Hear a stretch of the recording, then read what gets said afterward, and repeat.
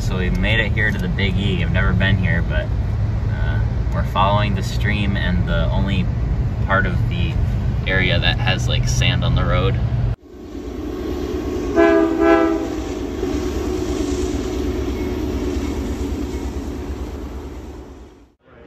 We're in the show. I'm at the Bachmann display. G gauge Thomas. Looks like we got the O gauge stuff over here. Not very crowded yet. Probably partly due to the storm, partly due to COVID. HO Thomas stuff. I think tomorrow's gonna be busier than today. 360 rooms booked. Plus they got a gymnastics thing going on. And More Bachmann stuff. Looks like they got a couple chargers and alternate schemes. I can give you last year's catalog if you like that. Our new catalogs won't be printed. The Amtrak Day One paint scheme. 50th anniversary unit. These things sound great.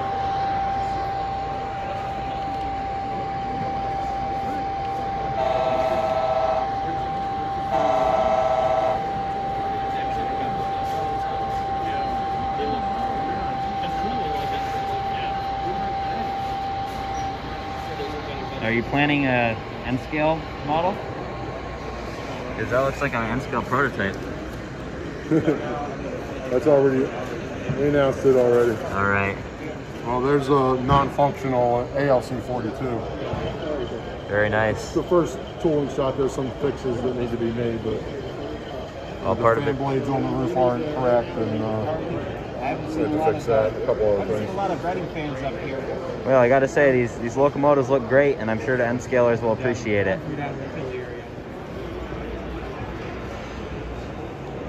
Nice HO scale layout here.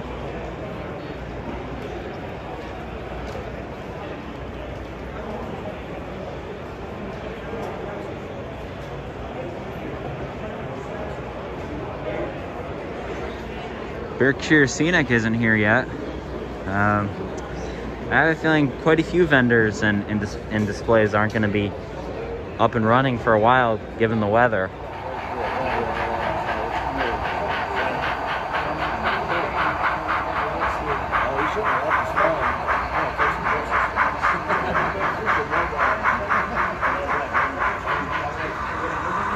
Okay, now I'm really impressed they got a sound decoder into this thing. This is the ESU table. We're here at the Bowser table. This is where I entered dangerous territory because they have some really great D&H engines.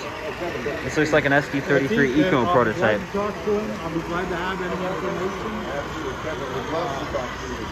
I'd love to put in, I have nobody on doing a really good job of it.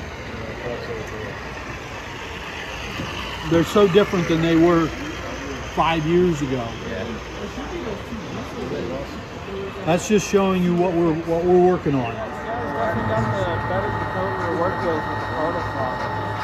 What's that? You got the better decoder to work with with the Cardo throttle.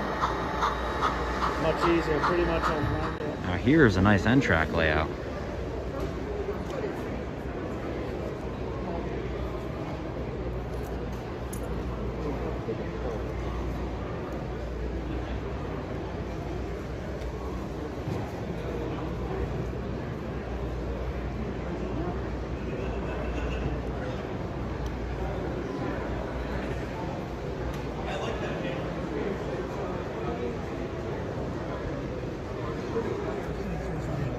train starts and signals. And when the train pulls either one, and the one's next to the road, then it turns them off. So it turns them off sooner. And if you come in, you back out, you get more confidence. in it. But, so, depends how realistic you want your operation. I have a, it's a, a there's a Tesla side also ready to start with the light again.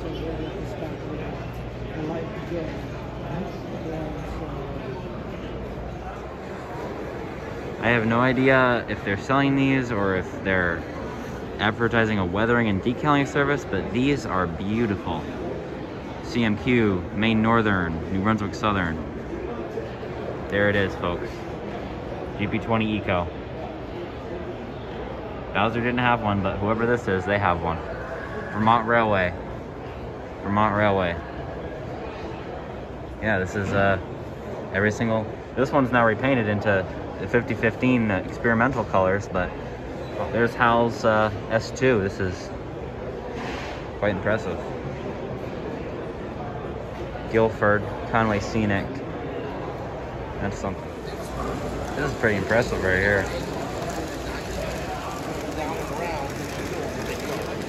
Now you can't get of the stage. That's staging. It's got to be removed. And remember, most of that's your maintenance. So number one, always speaking. Scale train. I could have seen both that engine and that engine yesterday, but of course, with my rail fanning luck, saw neither. But they have an excellent HO scale model of all three.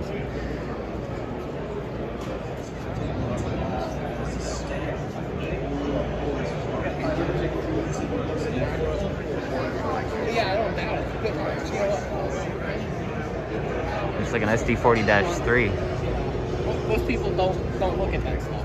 No.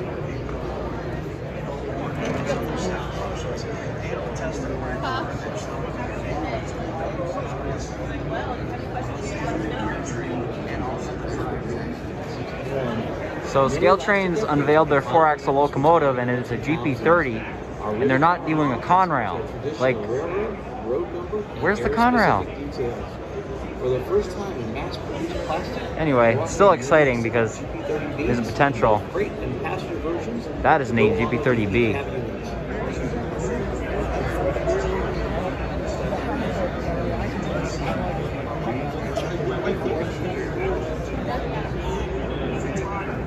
Shane Wilson from ScaleTrains. Uh, you just released a GP30. Um, what drove you to decide to do that locomotive? Uh, GP30 is one that's been often asked for, and uh, being a four-axle locomotive, we want to do something that'll fit uh, nearly all model railroads. So there's a, a variety of road names and a ton of different variations. And, and uh, the last well-done GP30, that tooling's probably about 30 years old now. Wow. And so this gives us an opportunity to do fantastic locomotive uh, that in today's tooling and, and bring all the variety that folks have come to expect from us for railroad road number and area specific details. Now, speaking of variety, I know a few folks uh, I talked to are disappointed there's no Conrail or Reading. Uh, do you plan to do those in a future run? Well, I think one thing folks have to keep in mind that there's a plethora of road names, paint schemes, variations that we can do on the GP30 or just about any locomotive that we that we announce. So just because it's not on the first production run doesn't mean that it's not coming in the future. And uh, we have tons more uh, uh, production runs planned. Pretty good chance those will come down the line. All right, so uh, thanks for giving us hope. Um, now, one more question about your SD45. As a D&H modeler, do you plan to do the D&H in either paint scheme in the future? I honestly don't know the answer to that question. I'd have to ask Paul, uh, but I don't, I don't know that off the top of my head. Okay, well, thanks. Uh, thanks for not saying just plain no, because I would really like to see it, and I would absolutely buy at least one, if not all three. Awesome. Um, so uh, thanks for talking to me, Shane, and uh, we'll see you around the show. Awesome. Thanks for coming. Appreciate it. Take care. So we're here at Virtual Railfan. Bruce, I understand you're a moderator for Virtual Railfan, yes, I am. and uh, i- do you do you get a lot of uh, nasty uh, chat, or are they pretty well behaved? Well, way back in the beginning, we had considerable issues uh, back in the times that we would have to call the Wild West. But uh, our moderators have done a very good job of calming the chat down and keeping it uh, family friendly, which is the way that we want it. Yeah, well, I gotta say, your rules are quite strict in a good way, because uh, it, it really it keeps everything uh, positive and nice. Uh, so keep doing what you're doing. Thank you very much. That's what we, we intend to do, hopefully. Okay, thank you. So we're here at Dwarvin. Is that how you say it? Dwarvin. Anyway, they have a unique way of doing lights. So how does this work? Because I don't see any wires. Um, so it's fiber optic. So you have a fiber optic cable, a plastic cable, and it is very bendable. Wow. And all you do with it is just stick it into the lamplighter, and you have light out the end of it. That is that is really incredible. If you need color lights, you can just paint it with translucent paint, and you can get red, green, any color translucent paint that you need. So yeah, I see your, your crossing signals over here. Those are red, obviously, Yeah, and your sweet. sig your signal's green. But So this is our animation side, that we have some railroad crossings and block protection. So the sensor's right there. Crossing signal's right there, and yep, the signal. And this is all done without wiring, I believe, right? Yep. So underneath here you can see the flash unit right here. And that is getting the signal from the sensor and sending two LEDs flashing back and forth and the fiber optics take the light up to the railroad crossing. Well, I gotta say that is pretty impressive.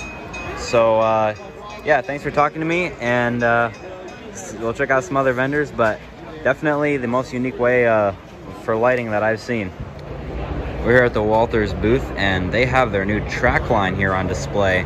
Dana, can you tell me a little bit about um, what you've upgraded? Because I know you acquired the Shinohara line. Yeah, but the first thing to know is these are not Shinohara turnouts. These are all new, completely newly designed. Um, they are complete. They're compatible with all the old track, uh, same geometry and everything. But it's a it's all new design. One of the biggest things are you'll notice it's a continuous point and closure rail. I did notice that. Yeah, there's, there's no hinges, so you got great continuity. I mean, it looks very prototypical. It almost looks hand laid. Yep. And you have sprung points. So if you do manual operation, you can just use them as is.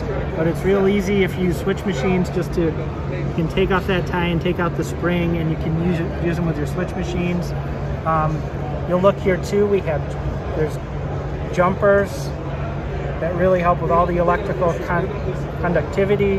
Um, if you want to power the frog, there's a lug right here that makes it real easy to solder that so like a frog juicer or a tortoise or something else to, to power the frog. Well, my Peco fan and Atlas fans are going to hate me, but I think you combined the best of all the different types of turnouts into one. So, congratulations and uh, thanks for showing them. We hope so. Thanks for stopping by.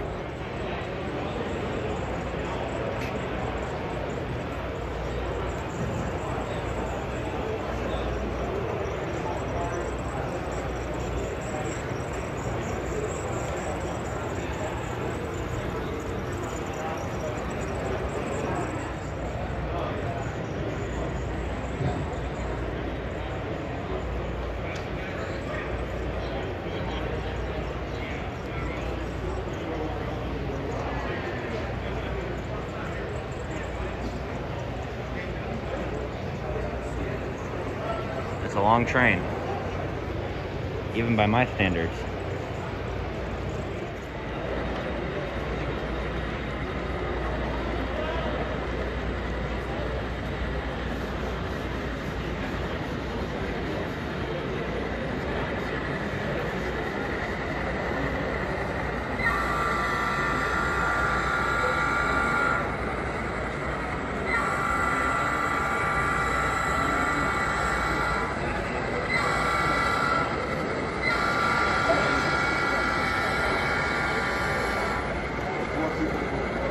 Now,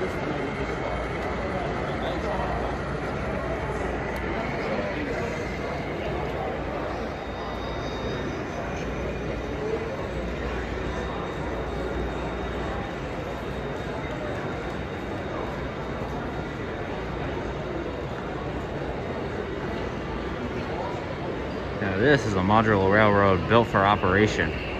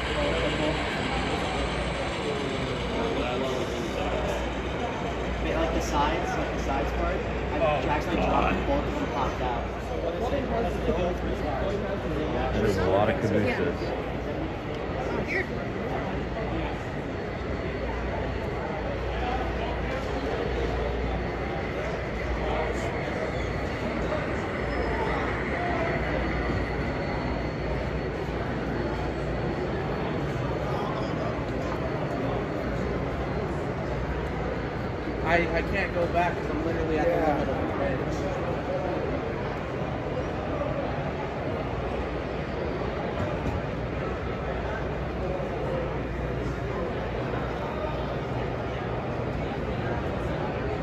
This is quite the layout. Another assortment of cabooses. Junction here.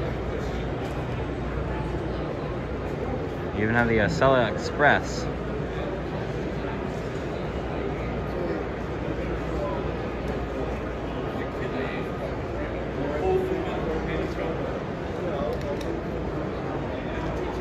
They have car cards and waybills for all these too. It's amazing.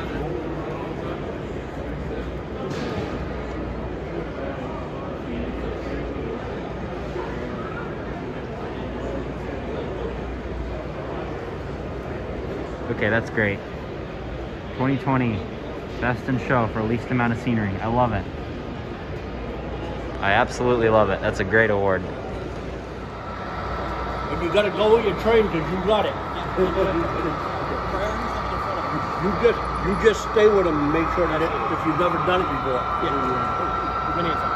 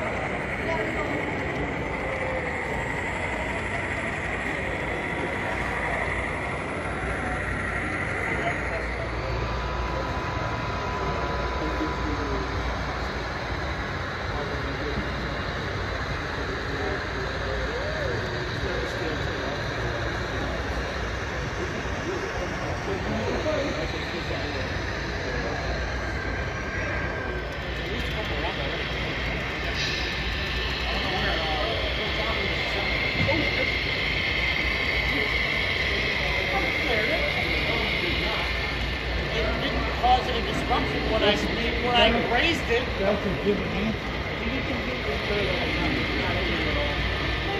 I thought it was pretty funny. I mean, I would really do your first time working with you guys. I'm over the plans, it's all on the same track. Yeah, yeah, you just gotta make sure that you like all things on there. You know you're on an active main line.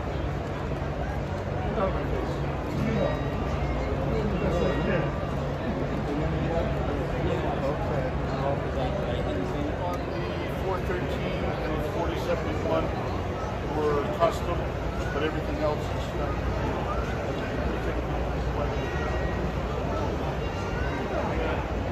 Okay.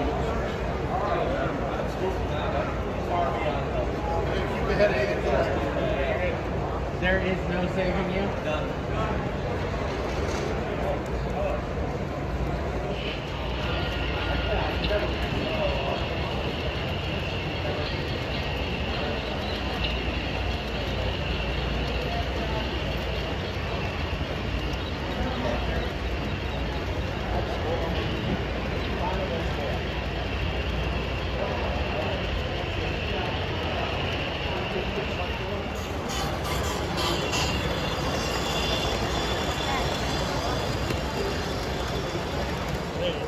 I'll be gone.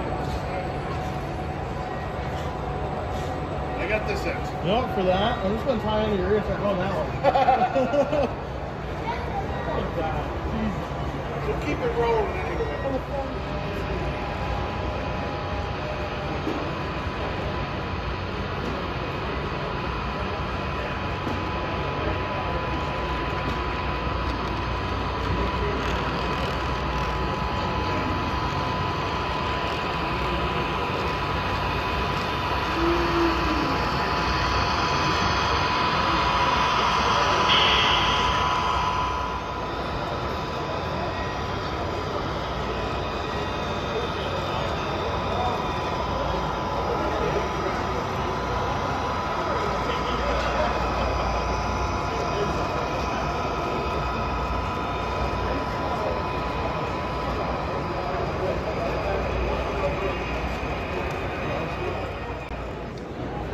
Kato booth. And uh, looks like they're also making an Amtrak charger. That'll be interesting to see uh, who makes a better charger. They got some great passenger trains though. Okay, we're now heading uh, towards the other buildings in a snowstorm.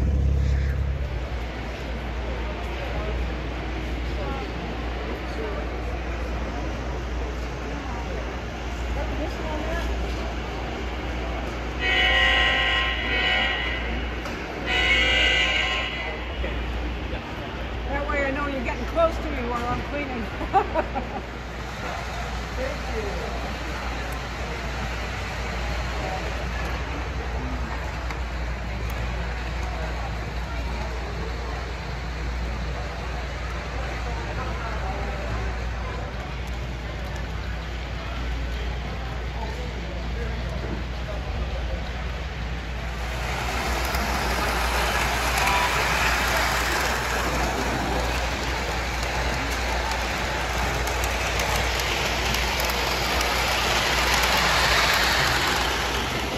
that is the most cursed Thomas I've ever seen. This right here is a power pack I started the hobby with several years ago. They're still selling it. So it can't be too bad, I guess. This is HO scale, N-gauge track. Main two footers. Looks like we got a modern HO layout over here. Auto rack yard. That's very nicely done.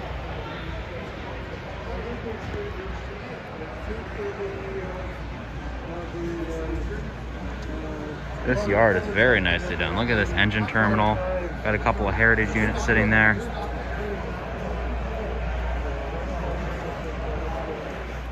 Onto the Mallory, and it is still snowing hard, as expected. Look at this, we got a Boeing train in HO scale.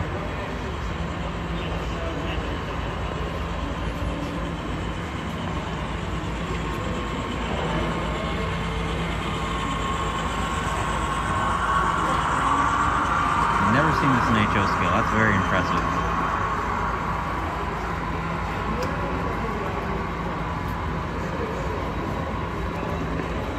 The modular layouts here are a step up from what I'm used to, I'll just say that.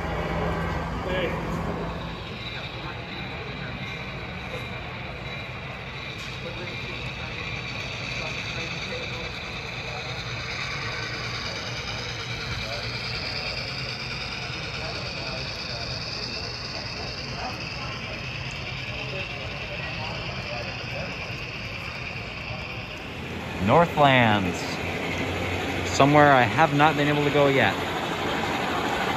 Yet is the key though.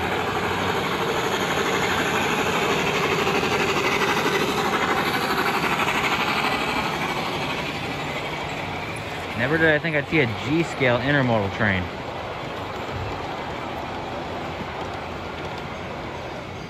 Ah yes, the 187 Vehicle Club. How could I forget? I really do enjoy seeing these though. They have a really nice CSX maintenance away train. Look at that. That is incredible. All this maintenance stuff. I should have them come do track work on my layout.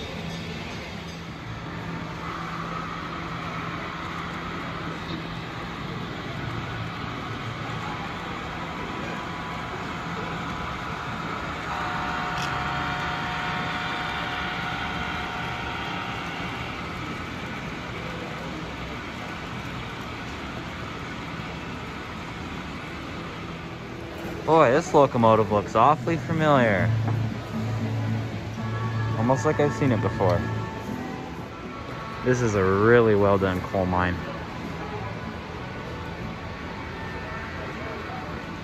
Very nice. They even built it on a curve too, I'm impressed. Okay, now this is the big G gauge layout, G scale, sorry, their scale. Uh, this is, this is huge, but I mean it's G scale, so that's what you expect. It's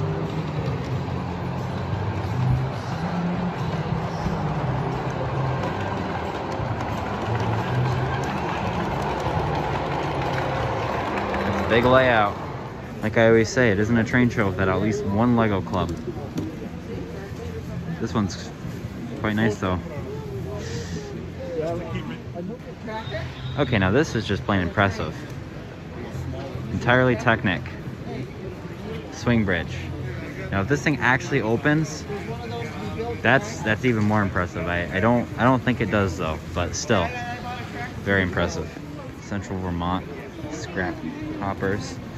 They did a really good job building these cars prototype.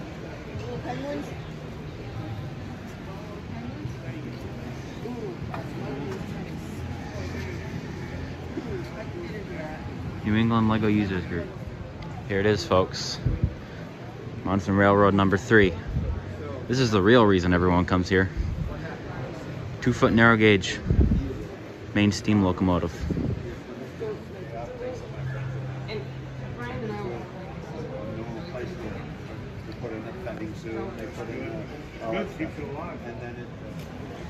Another nice Fremo layout. Yeah, got a great reverse loop. Control panel. I would not touch that. I believe those are switch controls.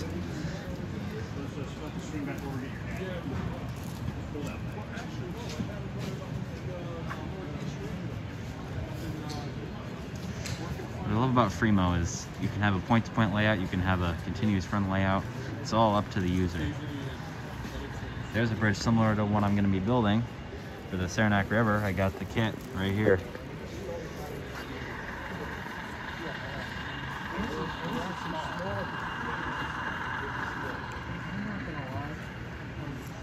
The YN disappointed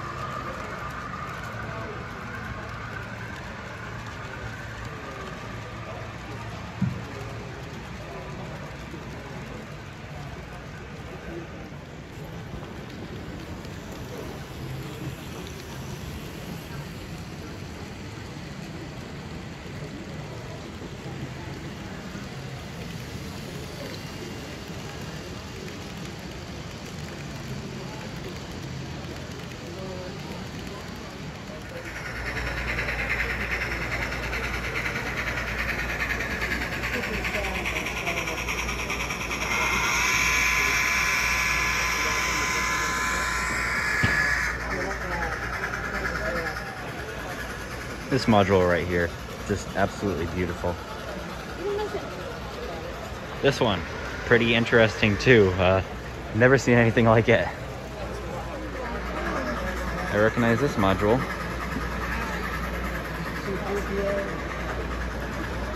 I got the Death Star Trench Run, Endor, Someone had a lot of fun with these.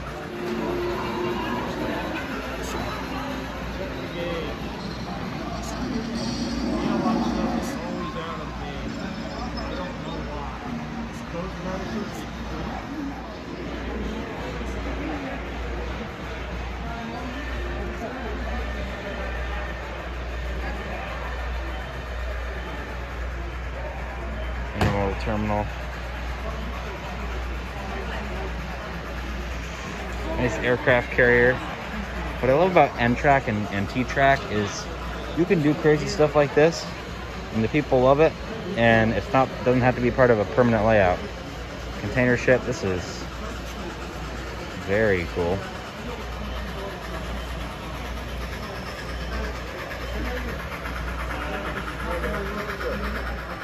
He's from Albany. Oh, you guys got robbed. I'm sorry. It was a great game, but Oh, I know. We're, we're, we're still uh, So that's coming from the Cowboys fan. Cool. Glad to be in the playoffs these days. It's been on. Yeah. Here's the, here's the, um, the voting, um, voting. Uh, usually pick the second and third place to win it. Okay. Okay, and they're all labeled. Um, they're all numbered.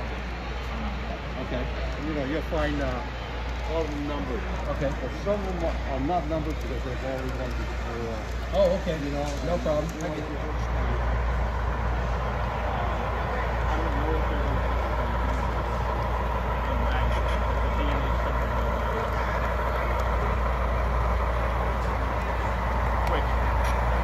Wasn't even you just lost, but I saw it start for me. So do I.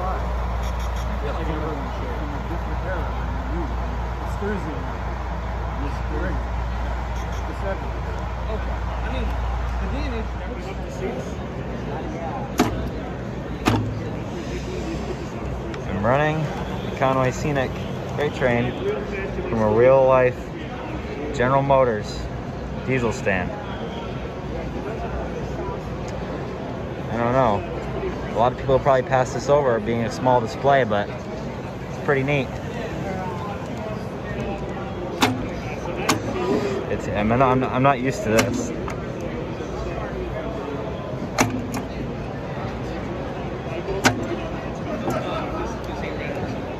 And idle. Reverser. Both of them. Both.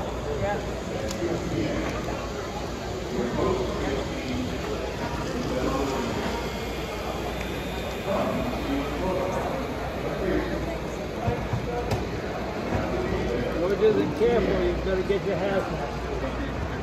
Is that one Greg? No. Oh, okay. No, it's just George. Yeah. He's entertaining. He's already done.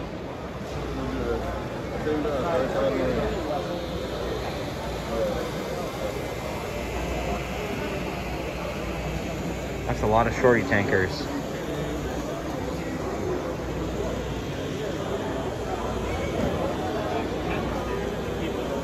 Loaded company sitting in line, what's it going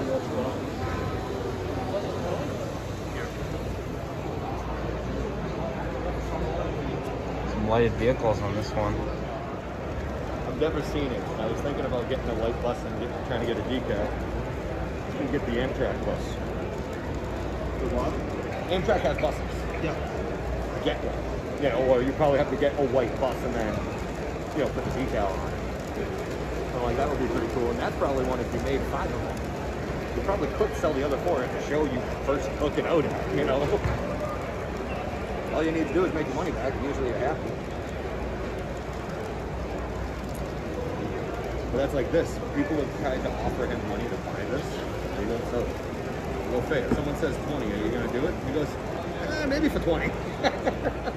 Here in the Young building. Uh, there's not too much in here, but it looks like Corey found what he was looking for.